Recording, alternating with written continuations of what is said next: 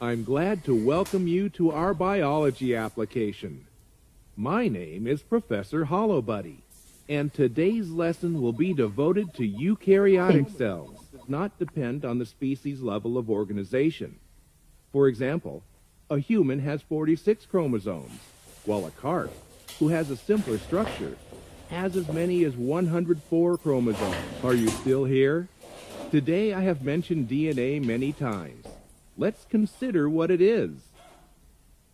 DNA, or deoxyribonucleic acid, is a molecule that contains genetic information and is responsible for the reproduction, storage, and transmission of genetic program of development for all known living organisms